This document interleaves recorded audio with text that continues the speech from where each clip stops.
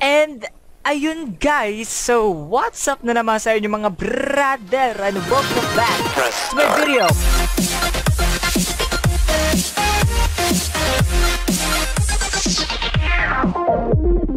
And ayun, so mag-update lang ako sa aking mga videos at ang mga susunod pang mga uploads.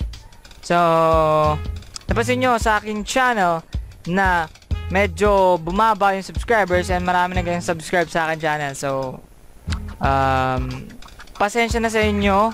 Mga brother ko nag uh, hindi nyo na hindi nyo nagustuhan yung iba kong mga in-upload na video kasi medyo wala akong handi, tawag dito yun sa mga games. Yung cellphone ko kasi medyo hindi ko maano ng games dahil puno na. And sa PC na lang ako umasa ng games. So, indie games na muna lalo rin natin. By the way, may previous video yung sa tawag dito sa mga nag-English English ako, yung mga walang kwenta-kwentang um, wala lang, trip ko lang mag-English.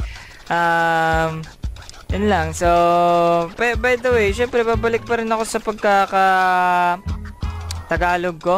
And uh, basta pero yung mga games na ganun, lalaroin ko pa rin guys. Uh, sana naman magustuhan yung game na ganun. So, gusto ko kasi maging unique hindi ako puro granny lang, hindi ako puro kung ano-anong uh, games na. Gusto ko yung may kwento, gusto ko yung alam mo yun yung mga manonood, mag makikita nila yung mismong game na kinokomentary ko. Sa mga nagsubs- nakasubscribe pa sa akin, maraming salamat sa inyo mga brother.